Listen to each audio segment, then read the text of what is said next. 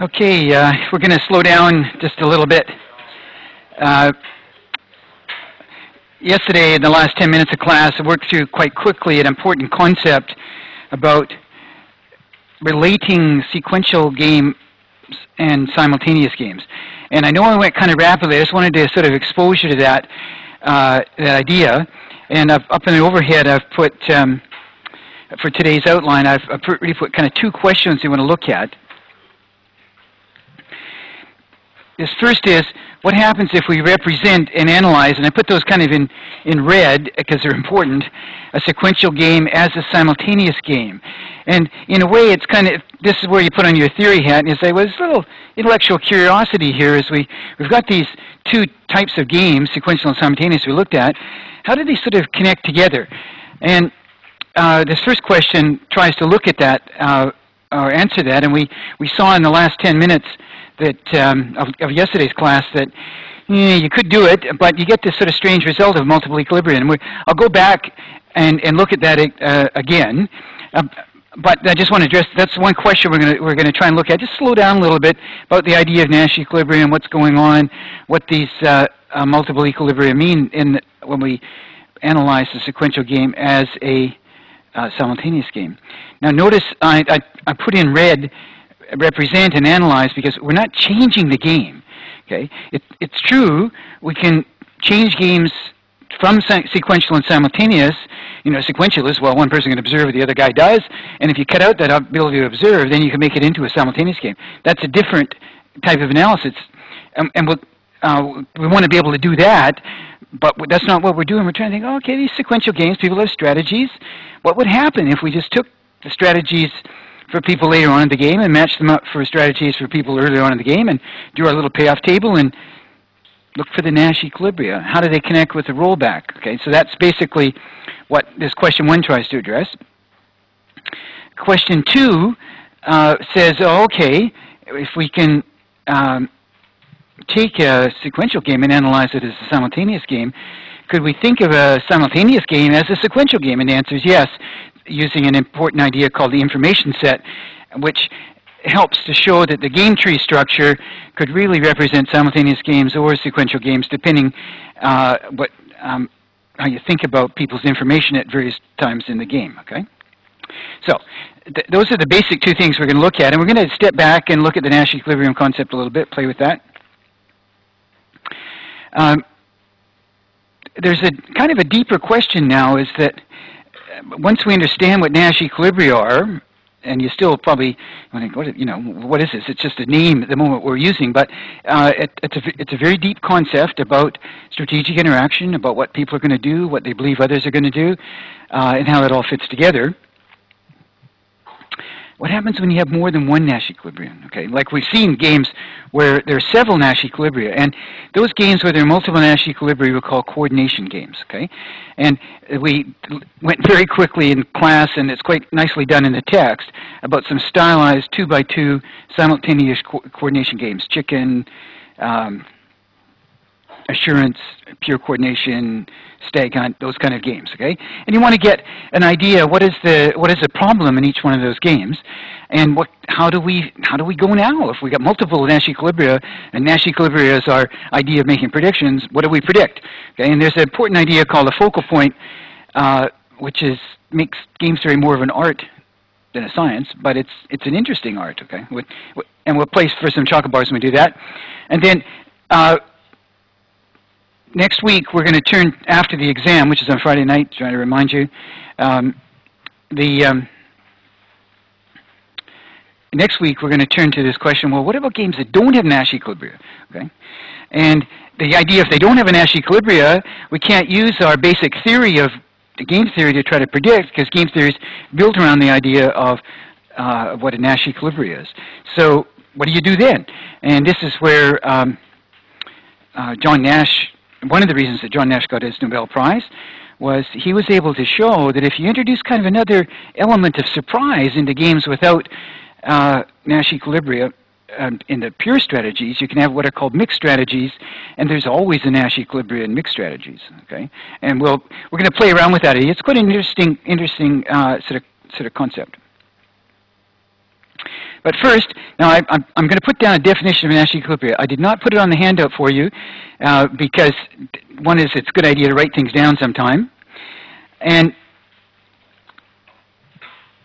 the the last few lectures, we've been kind of talking about Nash equilibria. I've been saying what it is a little bit, talking around about it, but we really haven't kind of sit down and defined it. Okay, so we have this PDIP structure of a game. We have who are the players, what can they do, what's their information, what are their payoffs. There's all that stuff that is is we use as our basic theory of games. And the idea of a Nash equilibrium is a is a list of strategies, one for each player. So here imagine we got three players, a red, a blue, and a green, and then you know there's a bunch of other players in a game, any kind of game. Uh, they they have strategies. Now remember, a strategy is a complete specification of what the player will do in all of the circumstances they find themselves in the game. In the simple simultaneous games we have, strategies are easy. They're just the columns and rows of little tables, okay? And we saw that in the um, sequential games they get a little more tricky because you have to worry about all these what-if possibilities as you get farther out in the game. But the concept of a strategy is a complete plan of action, okay? So we write them down in a list. And I put a little asterisk beside it, a little star, because there's some special strategies. Nash equilibria are special ones, okay? That's why we're putting a little asterisk there. They have some nice properties. And the idea is that every component of that list of strategies is a best response to every other component. Okay, so remember when we did this best response reasoning in the little two by two tables and things like that, that was pretty straightforward to do. And what we could do is we could, you know, other players do this, what's my best response? Other players do that, what's my best response? Other players do this, what's my best response? So you try and figure out for all of, you know, for the red player, all of the possible things that the other guys could do, you know, what's my best response? And that's really called a best response function because it's not only a best response to these ones with the asterisk, but we're trying to figure out what would be your best response to anything these other people could do. Okay, so you're sort of sitting there thinking, oh, if they do this and that's their strategies, and this would be my best response. And if they do something else, this would be my best response. We kind of work that through, and we call that a best response function which will tell us a player's best response no matter what the other players do. But in a Nash equilibrium, what we're doing is we're saying, well, imagine all these other strategies with the asterisk. Blue guy, the green guy, the black guy. This one here is red player's best response to that. Okay? Now, this this is red's action or his plan of action, okay? It, but it's based on what other people do and yet, you know, uh, here you might not know what they do, but you can figure out what they do and put them in that list. And here's their beliefs. Okay, just imagine. Forget about the black player. Just imagine we got, you know, I've got red, green, and blue. So we got the colors.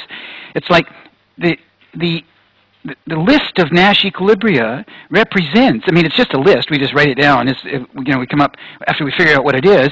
But then what does it mean? Well, it means something different for each player.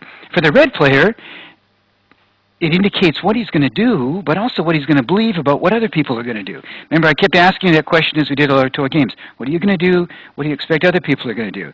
And then the key idea is, oh, given what you expect other people are going to do, am I making a best response to um, what I think they're going to do? Okay. But it also means something for the other players. So let's put in what the blue player does. Well, for the blue player, the blue player is going to do this, and have beliefs about what the other guys are going to do. Okay? So the blue player, the, the, Nash equilibrium is also a specification of actions and beliefs for the blue player, and similarly for the green player. And so the idea is that though it's a very simple concept, you know, we started off just with this. Let me just, I'll put these back up in a second. We, a Nash equilibria is defined like this. It actually means something for each player, and what it means is it's, it's specifying what actions and beliefs everybody's holding. Okay, and so and that's kind of interesting because in strategic interaction for intelligent rational people, that's basically the way we interact. You know, you do things because you expect other people to be behaving certain ways. You know, so when I drive out of here and I get on Papanui Road, I drive on the left-hand side. Okay, and I'm hoping everybody else you know, drives on the left-hand side coming the other way, right? And it's like, you know, you could ask, why do you drive on the left-hand side, John? And you'd say, well, there's a law. Well, even if there wasn't a law, I would drive on the left-hand side because I believe everybody else is going to drive on the left-hand side. And they're driving on the left-hand side because they believe everyone else is driving left-hand side. And we all mutually believe these things, and we don't need a law. I mean, it's nice to have it codified in case somebody deviates from the law and you have to go and sue them or something like that. Um, but it's more, hey, wait a second, we're all doing this because our expectations fit together. Okay? And believe me, when they don't fit together, it can be a real problem. When I first moved here from Canada quite a long time ago, um, I used to have a real problem at turning at intersections. And, and the thing is, when you, in North America, you're driving on the right-hand side, and you know you're thinking in your head, okay, left-hand side, left-hand side, left-hand side, but then something will happen, it's go, oh, you go the wrong way. Okay, so it's that you know there's these beliefs that people have about uh, what other people are going to do, and then given their beliefs, we figure out, okay, this, this is what I believe. What am I doing? Am I doing the best thing for me in light of what I believe you guys are going to do? And so, we, so you have to march that through for every player, not just for yourself. Okay, so you, you have to do it like for each player. So it, it, that's another kind of level of the intelligence here is you have to be able to put yourselves in the shoes of the other players in the game and try to figure out what their best responses are so you can work out what this Nash equilibrium is. You can't just do it by thinking, oh, you know, what are other people going to do? What's my best response? Because what you have to do is think, well, the other guys, what they're going to do is going to be, they're going to be thinking about what I'm doing and trying to make a, a best response to what I'm doing. And I have to work all that stuff out to come up with a Nash equilibrium. It's mutual best responses, but they're also people's beliefs. Okay, so simultaneously, this list of strategies, Nash equilibrium, is what people will do, but it's also what others expect other people to do. So you got beliefs and actions. Now let's let's take that idea back to um, uh, what we did yesterday. I'm, I'm going to I'm to pass on this next little bit uh, that's in the text in, um, in the middle of chapter five. There's a little example about why why wouldn't you play it safe in a game? You know, when you can get a guaranteed outcome, why would you ever play an Nash equilibrium that might be risky? Okay, when if we've got time, we'll come back to that. But let's just put that aside for a second. Now, what I did, and this is your first overhead, uh, I mean, it's already all filled out for you, but what we did is we looked at our entry-deterrence game, and we tried to think, okay, the strategies for the blue player, there's four of them, which we wrote down as lists. The first component of the list is what they'll do up here at node B1, that is if the red guy invests, and down here at B2 if the red guy doesn't invest. So this is, these are the four possibilities. There's, those are the four strategies, okay? And then uh, here's the strategies for the red player. He only appears once in the game, so it only has two simple strategies. And we filled out the rest of these, these cells, and we came up with uh, something like this. Okay. Then quickly we went through the red's best responses. Now, again, once you see a payoff table, uh, and particularly in an exam, you will see a few payoff tables. Um, you should be able to work out the best response functions for each player. So for the red player, it's like, okay, I'm the column player, sorry, I'm the row player. Given the blue player does this, 2 is better than 1. Given the blue player does that, 4 is better than 1. Given the blue player does this, 3 is better than 2. Given the blue player does this, uh, 4 is better than 3. And you put your little best responses to just indicate what they are. Then do the same for the blue player. Okay, the blue player is thinking, okay, if the red player does this, I can get a 1 or a 1 or a 3 or a 3, depending on what I do. Just mechanically mark off the X's where their best responses are. There might be more than one. Doesn't matter. Put them all in. Do the same across the rows here. Uh, fours and fours are better than twos and twos. And then we noticed ah, two mutual best responses. And we called these two guys Nash equilibrium. And I put them in different colors today because I want to compare them. Okay, I want to think what's going on in these Nash equilibria. Now, remember the Nash equilibria, though I circled the payoffs, the Nash equilibria aren't the payoffs. The Nash equilibria are the strategies. Okay? The strategy for the red player in the green Nash equilibria is invest. The strategy for the blue player in the green Nash equilibria is not invest or not enter up here and enter down there. Okay, so those are the two strategies. Now remember, strategies are simultaneously actions and beliefs for these different players in the game. So what about the purple guy? You know, where did that come from? Well, it's a Nash equilibria. It's a mutual best response, and it involves always entering up here and playing uh, uh, planning to not invest down there. Now, let's, let's just stop and think about that. This pair of strategies, for the red player, this is what he's going to do. This is what he believes the other guy is going to do. Okay. Now, implicit in that belief is, oh, if he gets to node B2, he's going to enter. If he gets to node B1, he's going to enter. Okay. Now, down here, if the red player is playing non-invest, this is what I'm going to do. I don't expect the guy, I mean, I expect to end up here, but I'm thinking as a red player that the blue player is going to be up here if we got up to B1. That is, if I don't invest, what's he going to do? Okay. Similarly with the green. The green is a pair of strategies. The, the, in this strategy, there's a different set of actions and beliefs. Okay, for the red player, he's going to invest, which means he's going to move along this branch. And the strategy for the blue player is to not enter at this branch, but it also has a component which says what the blue player would do down at this branch down here. Okay? So let's let's have a look a little bit deeper at what these beliefs and actions are. Now we, we isolated the rollback equilibrium, uh, which we've done several times now, and what the beliefs in this rollback equilibrium are such that we expect the path of play to go for the red player to choose I. That's what he's going to do. We expect him to believe the blue player's going to not enter, and the blue in this path of play, the blue player will not enter, but the red player is believing that in this subgame down here, okay, the blue player will enter. And that seems a reasonable thing to do because 4 is better than 2. Okay, so we call that a, it, it, it's a reasonable belief to have. Okay? So we call it a credible belief. It's credible because, well, the blue player could do anything. If I mean, we plan to go along here, but if we did something else, he might do something else. What should I believe that he would do? Well, you should believe that if he gets into situations, he will generally act in his own interest. Okay, and that's what he does here. So we call that a, a, a credible belief. And this equilibrium we call a perfect equilibrium. The idea of perfection has to do with, I mean, there's imperfect actions and perfect actions, okay? But sort of think of it as, well, people are acting rationally in the situations they get themselves in, even though we don't actually get into those situations, and we don't expect to in this game.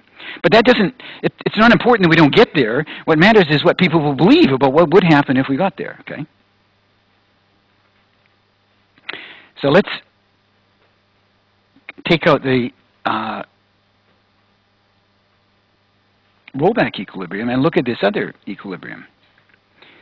This other equilibrium is action for the red player, not invest. Strategy for the blue, or an action and strategy for the red player, not invest. And action, actions in, which are strategies in different situations for the blue player. And you can think of this as I'm always going to enter. Okay? And if you like, if you go up to this node up here, which you can think of as a little subgame by itself, so in this, we want to analyze this subgame. What, what are people expecting to happen in this subgame? It's, it's not actually going to happen if the equilibrium gets played out, so we call it a out of equilibrium kind of play. It's a what if. Um, well, what would happen if the red player invests? In this equilibrium, the red player is believing the other guy is going to enter. And you could think of that as an implicit threat because look what happens if he doesn't enter, it's better for the red player, and if he enters, the red player is going to get hurt. Okay, so it's like, oh, the, the blue player is going to hurt me. It's true. He's going to hurt you. Okay, if he enters, but he also hurts himself. Okay? And that's why in this equilibrium, thinking, well, why would I think he would do something that would hurt himself? If we get into that situation, he wouldn't do it. I shouldn't believe that he would really act against his own interests if we got into that situation. I mean, that's, that's one way you can analyze this. It's like this is a Nash equilibrium. It's based on a set of beliefs about what people are going to do and uh, in situations they find themselves in the game. But you know, you ask this question. You question people's beliefs. Why do you believe that? Okay? And you say, well, gee, when I look at it in the sub game, I think he's going to hurt me. and you say, well, yes, why, is, why do you think he's going to hurt you when his payoffs really are to not hurt you, to not enter? Now, in another game, if you didn't know what the payoff structure was and you're worried about this person hurting you, okay, that could be a problem. But here we know his payoffs, and you think, well, he's not going to act against his own interest. I don't have to believe that he will hurt me. And so what we say is that here is that at B2, there's a, there's a strategic threat at B2. Okay? These beliefs in this equilibrium involve a, the kind of an implicit threat. It's implicit in that nobody is saying anything. There are no messages going back and forth here. Okay? All there are are strategies. But strategies are beliefs. You don't need messages if you have belief, you know. If you believe that you are going to go to hell after you die, that will affect how you live now, okay? If you believe that you're going to go to heaven after you die, you know, that will affect how you're going to behave. It's like people's beliefs, they're, they're fundamental about what things, they're not, they're not in these situations, okay? You know, if you, you know, this is a classic example that guys have, you know, and I remember trying to ask a girl on my first date, it was like grade 11, and I, I really wanted to go to the school dance, but I just didn't have the courage, and I sat there for about a day, you know, should I phone her, should I phone her, should I phone her, and what am I going to say? It's like, what ifs, all of these things, you know, and, uh, if it hadn't been for pressure from my friends, I just wouldn't have done it. Okay? It's like, you know, I'm too afraid of getting rejected. That's just what I believe I am going to get rejected, so I won't ask. Okay? Whereas on the other hand, if, you, if you're confident, you think, oh, yeah, you know, uh, to catch me out, she's going to love me, then I'll just go ahead and do it. Okay, your beliefs affect, uh, uh you know, what you're going to do, and then you should ask questions about your beliefs. Why would I believe? Why would I believe the blue player would hurt me? So, this Nash equilibrium down here we call a imperfect equilibrium. It's it is a Nash equilibrium. Okay, that is, it's a a set of strategies, a list of strategies such as each player is making the best response to the other player. Those strategies are, uh, mutual, so it's mutual best response. In those strategies are embodied a set of beliefs.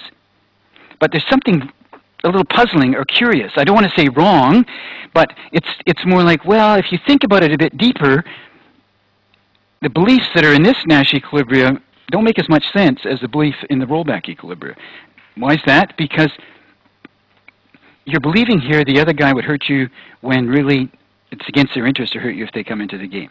Okay, so let's we one of eh, overall what we can do is we call these rollback equilibria subgame perfect equilibria. Okay, so if you like, in the games that we're looking at now, the rollback equilibria has been a way of finding Nash equilibria. I say. We we look look forward, reason back, work through a game tree. We didn't talk about Nash equilibrium at all. But it, and then we got into simultaneous games. We're talking about Nash equilibrium left, right, and center. Think, oh, we were really doing Nash equilibrium at the beginning there. But it's a certain kind of Nash equilibrium. It's a what we call subgame perfect. Is that people have believe other people act in their best interest in situations they get themselves into. They won't uh, believe threats in this game or promises in other games that aren't credible. Okay, so the idea this in chapter 10 we're going to we'll plumb out this idea of credibility because in promises and threats we're going to start as some messages going back and forth now. You know ah, if you do this i'll do that kind of stuff. So people are promising other people to do stuff and you think well yeah but but when they get out there are they really going to follow through on their promises? Okay? And that's the credibility question you know or, or they're going to make a threat but when they get out there, are they really going to carry through in that threat? So, uh, even in this simple game, we have um, the idea of credible threats, and if we had a promise game, we could have we'd have credi credible, excuse me, promises. So that's this is an important idea, okay? And it it helps once you see the definition of Nash equilibria, and we go back to this little table I had, this little picture is that the concept of an equilibrium is kind of mechanical. You think, oh, what's Nash equilibrium? What's all, you know, st strategy? Well, it's about people's what they do. They interact with one another. They make choices. They have behaviors, but they also believe things about how other people are going to react. And the Nash equilibria idea embodies in it not only what some assumptions about rationality, people make best responses you know, to whatever and uh, to whatever else they, they believe, but certain things about what they believe. Okay, it's beliefs and actions together. So when we talk about Nash equilibria in a strategic game, we're talking about a set of mutually consistent beliefs and actions. Now, let me just go back to what I left out here. You can scratch this down if you like, but I, I didn't put it on the handout because it's on page 141 in the text. This is a, a stylized game. Okay, it was just kind of drawn up to draw your attention to problems of riskiness in games uh, in these in these simultaneous games. And if you if you go through the analysis of all the payoffs, okay, the, for the red guy, best responses are two and two because that's better than one. Three is better than two and two. Three is better than zero and two. So we put in the knots there. And for the blue guy, going across the rows, two twos are better than a one. A two and a three. Oh, sorry, the three is better than the two twos. Blah blah blah. Three here is better than zero and two. And so there's only one cell that has mutual best responses. Okay, so there's this would be say if you're playing this simultaneous game, and if these are the payoffs of the players, and if they're intelligent enough to figure out what's going on and they all know the components of the game, then each of them should expect this Nash equilibrium. The red player will play T expecting the blue guy to do A. The blue guy will play A expecting the red guy to do T. And the reason is because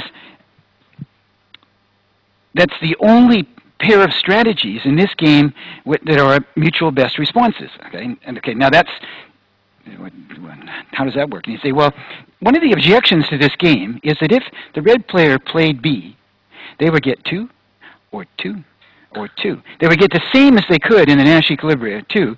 And it wouldn't matter what the other guy did. Okay, so you sort of think, that's a safe course of action. If I play B as a red player, then uh, definitely I'm going to get 2. So I was like, and that, that's just as good as I can get in the, in the Nash equilibrium. So I'm going to be the cautious guy and play, okay, B. Okay, that's right. What do you think the blue player is going to do? And what does the blue player think you're going to do? And you sort of think, well, they're both trying to figure out what they, if, if, the, if the blue player expects me to play B, okay, what's his best response? Well, his best response is B, okay. So I'm thinking, okay, I'm a conservative guy. I want to be cautious. I want to get two for sure, uh, no matter what the other guy, the other guy gets. Well, I sort of want that, but you know, I'm also self-interested. And if I am doing this and the other guy is predicting that I'm doing this, then what do I think he's going to do? Well, I think he will play B. But if he plays B, then I can do better for myself. I mean, it's like, oh, okay, I can do better for myself. I can, I can play T.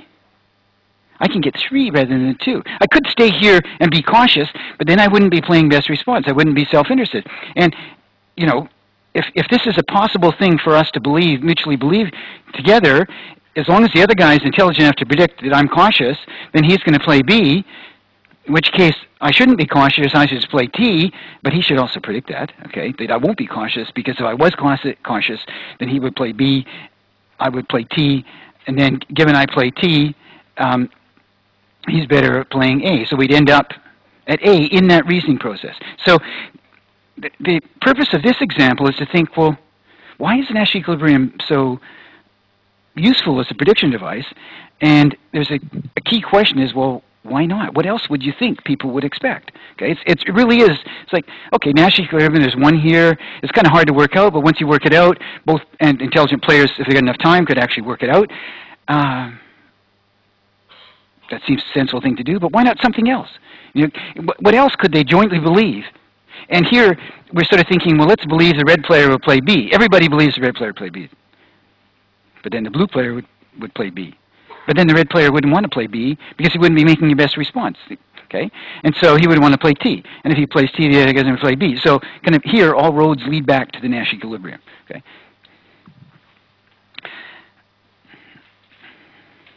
Now, let's, uh, we had a little problem.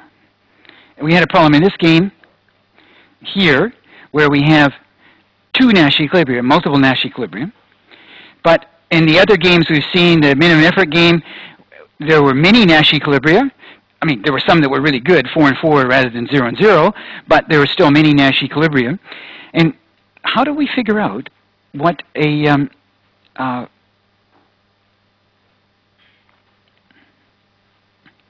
Nash equilibria to choose? Okay.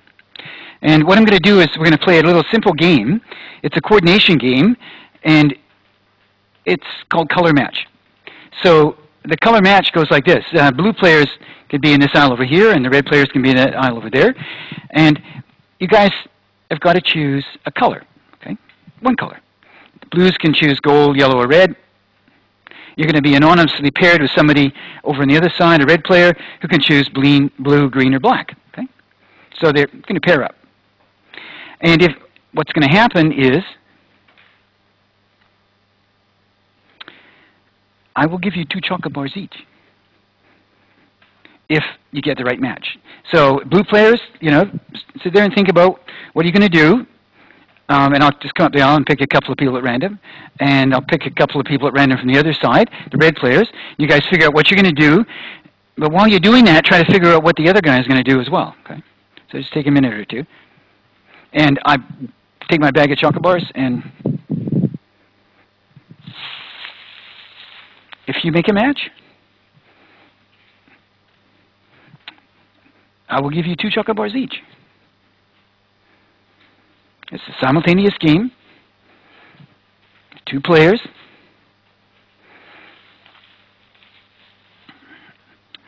Each of them's got three things to do. They've got to choose a color. And in this particular matching game, if your colors match according to these lines, you know, if green matches with yellow, and if gold matches with blue, and black matches with red, I will give you two chocolate bars. Otherwise, you get nothing. I'm not going to penalize you or anything, just that, okay?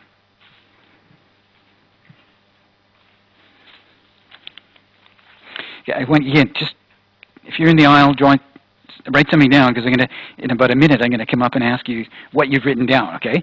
And again, you and what you're thinking is important, too. Same with the house over there.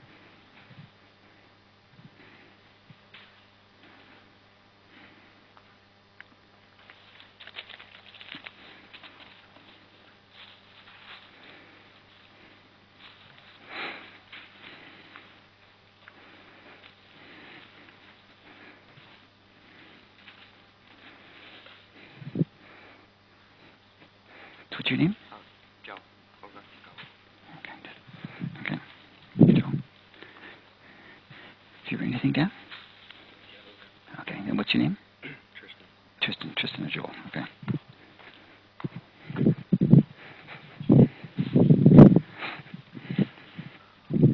Okay, we'll move up a little bit. Did you write anything down?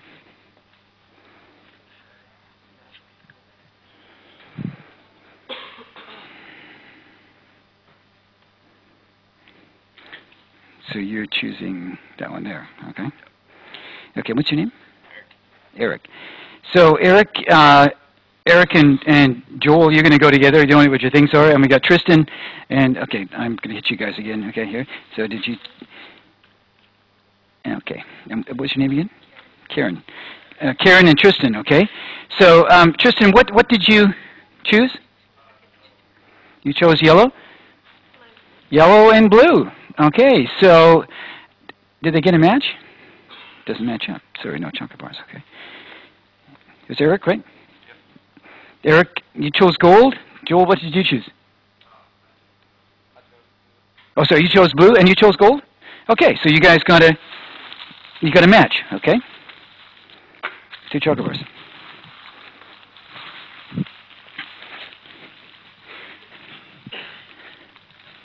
So, Joel, what were you thinking about when you were trying to choose a color? About what the other guy was going to do?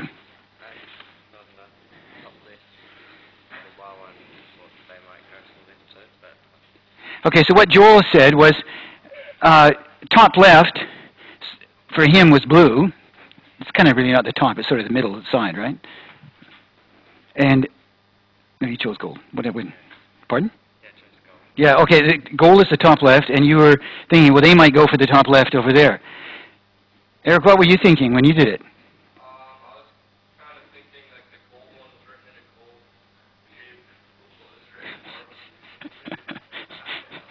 okay, so it's like what's think what they what they're thinking about is totally different, right? Now it was it was interesting in one of the classes uh, I did a few years back. Um, the there was a player who wrote down a little payoff matrix, which I will do for you right now. Just put it up. It's quite easy to do, right, in this game. Um, it's, a, it's a little two by two sort of game. Uh, blue, black, green, red, gold, blah, blah, blah, put in the payoffs, and you can come up with your Nash equilibria in those three cells. The problem is, I mean, basically, it's, this is a pure coordination game, okay? It's a three by three pure coordination game, but it's like you just need to get coordinated, but there's several things you could get coordinated on, okay? And so what you have to, what we want to do is try and figure out a way to coordinate your beliefs, and that's called, we want a convergence of expectations, and there's a theory about, according to Thomas Schelling, which is um, called focal point reasoning, F-O-C-A-L, focal point. So what, what would focus, you know, like Eric had a totally different explanation for what was going on than Joel did. Okay, let me introduce you to another simple game uh, where it's actually more complicated. Okay, here's a list of 10 cities. 10 cities in, the, in New Zealand but towns perhaps. I don't know. I hope they're all cities. And what I want you to do is people on this side choose five, and people on that side choose five. Okay, and if you choose the same five, I'll give you ten chocolate bars. And you think, what hope is there, right? We, well, supposing I just change it a little bit, so we get rid of this green shape, and I put in a, a map. I copied the weather map off the, the web behind there. And one thing about this map is that it's kind of like a background knowledge for most people in New Zealand, and five of the cities are in the North Island, and five of the cities are in the South Island. Okay? So if both of you, are, if people are sitting there thinking, well, okay, I've got to come up with a match. They got to come up with a match. There's a whole bunch of possibilities we could coordinate. I have no idea what they're going to be thinking, but if we both knew that we're thinking about a map, okay, then you could pick five from the North Island. They could pick five from the South Island, and you, and uh, um, you get your matches. Okay. So the idea is that you can use some sort of context knowledge to help focus your expectations. Here, the um, the map gives you some hope that you you know you guys could select the same stuff, right? So that's the that's just an idea about focal point reasoning. It's something outside the game that people might know about one another that would help them converge their beliefs or expectations about what other people are going to do. Okay. Uh, now, before I go on with this. Um, uh, focal point kind of reasoning. Whoops, I'm dropping chocolate bars left, right, and center here. Should we just see if you're awake up there? Okay, guys. Everybody just want a chocolate bar? Okay. Um, I want to turn back and look at the second question, which was, okay, we've looked at how a sequential game could be represented as a simultaneous game. That's right. Now we want to look at can a simultaneous game be represented as a sequential game? And the answer to that is yes. Um, supposing I have a simple simultaneous game like this, okay, it, it's going to be turn it turn out to be like the the uh, entry deterrence game in that there's an invest, not invest, enter, not enter. These are the pattern of payoffs we have.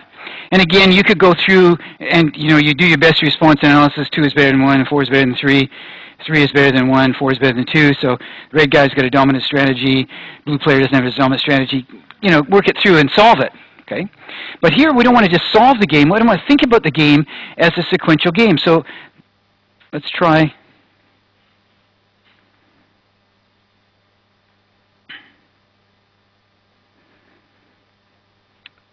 Writing the game down this way, where the red player moves first. Okay? So here, if you're looking at this sequential game, sorry, if you're looking at this simultaneous game, and you wanted to think, well, a simultaneous game, neither player can see what the other player is doing. Supposing we change it into a game where the red player moves first, the blue player can observe what they're doing, look at their payoffs, and map out, okay, if the red player does I and the blue player does E, they get 1 and 1, so that's up there. The red player does I and the blue player does N and E, that's 3 and 3 and then two and four, four and two. Okay, so that's just our entry deterrence game. So if we actually change the nature of the game from a simultaneous to a sequential, then we could draw a game tree for it. But how can we represent the idea that in this simultaneous game, the blue player doesn't see what the red player has done. And the, what we do is we introduce a concept called an information set. And an information set is like a, a node, or sometimes you can think of it as a, a, a line, if you like, joining, uh, joining various nodes in a graph where the player is going to move can't tell it, it, where they are in the game tree. Now, it would almost be better to say a lack of information set, in that what we're, what we're doing here is we're saying in the original, let me just work with this uh, circle rather. In the original game, the blue player can observe directly what the other, where he is in the game tree. Okay, he can see that the red player invests, see that the red player doesn't invest, and then he makes his move. So, you know, that's one type of game with one type of information. But another game is well, the red player moves first, but the blue player doesn't observe what the red player does. That means when the blue player makes their choice, they're not sure whether they're up here or here. They can't distinguish between these two nodes. So we loop them together like in one big node. We're just not sure where we're at. Now, what you could what you might want to think about then is if you're not sure where you're at, you can only make one choice, right? You can't say, "Oh, if I'm up here, I'm going to enter, and down there, I'm not going to, I'm going to not enter," because, I mean, you can't have that contingent plan of action because you're never going to be able to implement it. You can't observe what happens. You've got to make a choice, not knowing what happens. And it could be that you'll be up here, and it could be that you'll down there, be down there. So, if you like, we can kind of gray out these other possibilities and say, well, you can either choose to enter or not enter. But your payoffs, of course, will depend what the other guy's done. You know, if you choose enter and the other guy's chosen I, then you'll end up over here. And if you choose enter and the other guy's chosen NI, you'll end up over here. So, I mean, we, we want to keep track of the payoffs you'll, you actually will have, but basically it's like saying you have to do the same thing at each node in the information set. Let me say that again. Just step back. We, when, on an information set which masks where a person is in a game tree. So we, we put a big loop or um, loop together these nodes in the tree where you don't know where you are.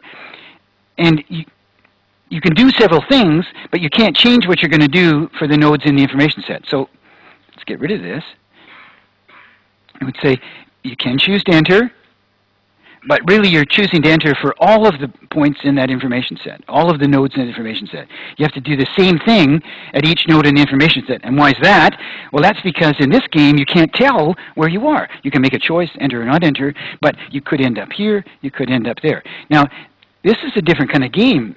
It's a game of imperfect information now, okay? Because now you're starting to have some uncertainty about, well, what's the other guy going to do? So, so far we've looked at, we're, we're, starting to introduce this notion of uncertainty. We, we don't have any probabilities or anything, anything like that yet. But what we do have in the game tree is you don't know where you are. You don't know, you can't see what other people have done. Now, that's the way in which we model simultaneous play in a sequential game. Now, it turns out, if, if we, we could do, have exactly the same sequential game turned around, but have the blue player move first, have the red player move second, map out their payoffs. Notice I've changed the colors because of the little convention that blue guys go first, red guys go second. Put the information set around the, the red players, and that means that the red player can't see what the blue player has done, though in the, you could think of the blue players moving first, but the red player just can't see it. Okay. So the way we introduce in a sequential game this idea oh, sorry, the way we introduce this, change a simultaneous game into a sequential game, and, you know, if I was asking you on a test, uh, represent this I don't think I'm going to ask you this in a test, okay? But if I was, um, the, the idea of you represent this game as a, as a sequential game, you could do it this way, or you could do it that way. Okay, both of them are, are equally valid because in this game here, the red player has to make their choice, not knowing what the blue player is going to do the blue player here makes their choice not knowing what the red player is going to do, and that's what simultaneous stuff is about. Okay. Similarly, over here, the blue player makes their choice first, so they don't know what the other player is going to do. The red player moves second, but can't see what the blue player has done, can't observe it, so we put those two in an information set, and uh, that captures that element of simultaneous, simultaneity in a game. Okay. So that's how to represent a simultaneous game in sequential game form. But remember, now you can you could do it either way. Okay. Now, what I did is uh, we got a few minutes, three minutes left. Whatever you do, don't copy this down. It is not going to be in the exam. It's just a way of thinking about um, how you might use these ideas, uh, sequential game, simultaneous game, focal points, and coordination problems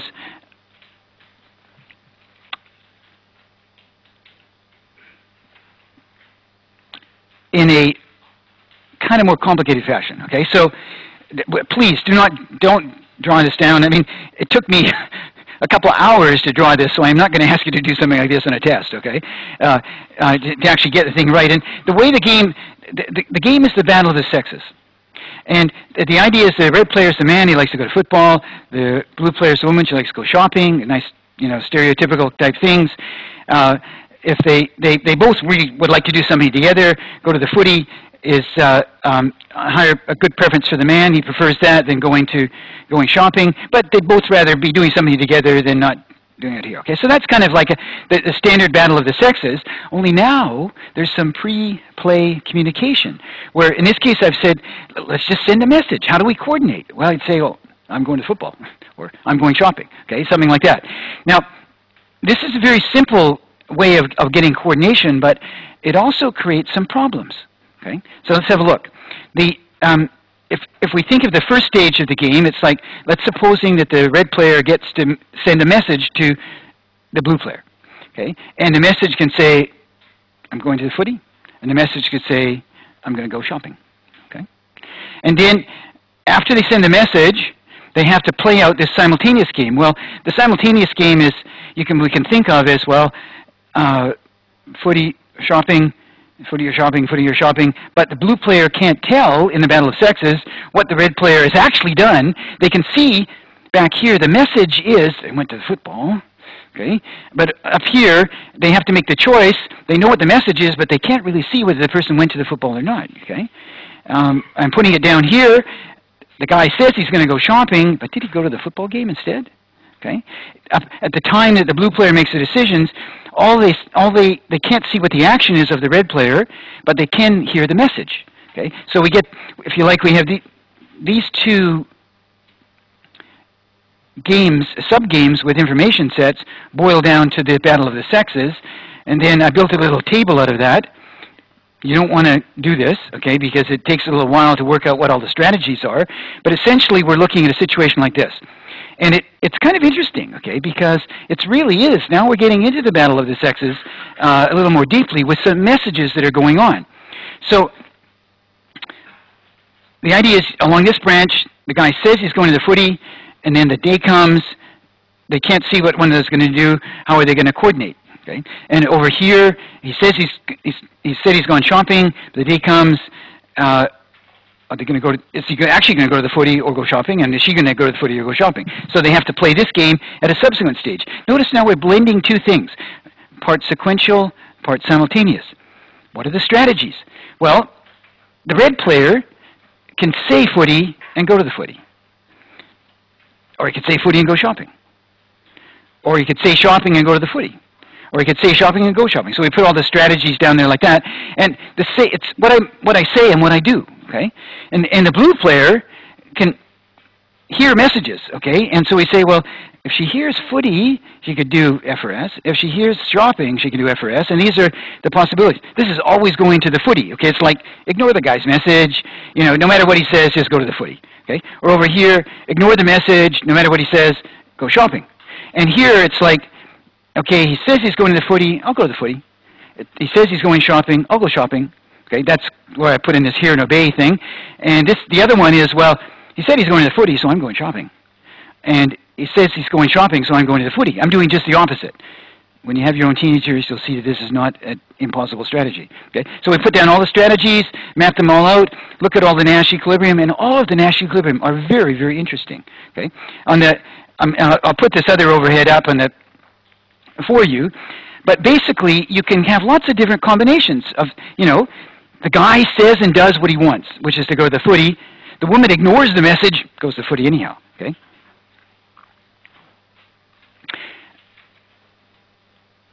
That's an equilibrium. Here he says one thing, what he wants, but he does another thing. Okay? That's uh, item C down here. So here he's inconsistent between his actions and his words. Similarly here, there's an inconsistency between his action and his words. And it's like, you know, relationships are like. They get very confusing. People say some things, they do other things. But here you can work out what's their best response. Okay? Well, one, one thing that's the best response to inconsistent action, like here the guy says, I'm going shopping, going to the footy, you know that's going to happen, so you just go to the footy. Or you know what's going to happen, uh, you just ignore it, you miss one another. Or you know what's going to happen, and you do exactly the opposite, and wow, lo and behold, you're coordinated. Okay? So